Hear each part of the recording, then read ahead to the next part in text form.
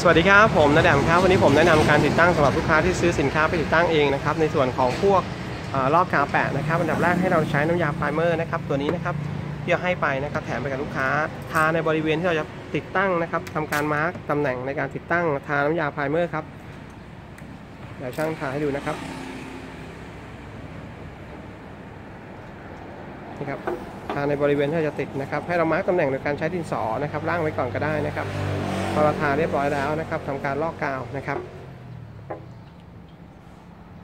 นี่เป็นจะแห้งเร็วมากเลยนะครับ ตัวนี้เป็น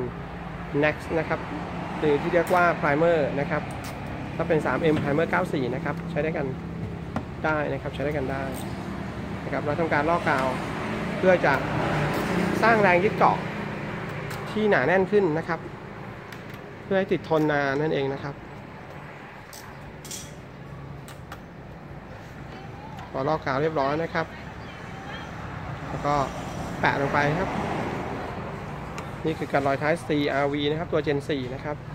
ติดตั้งให้เห็นกันเลยแบบนี้เลยนะครับนะครับ เพื่อให้แน่นนะครับ เสร็จแล้วก็ลอกนะครับ ตอนนี้ช่างกำลังลอก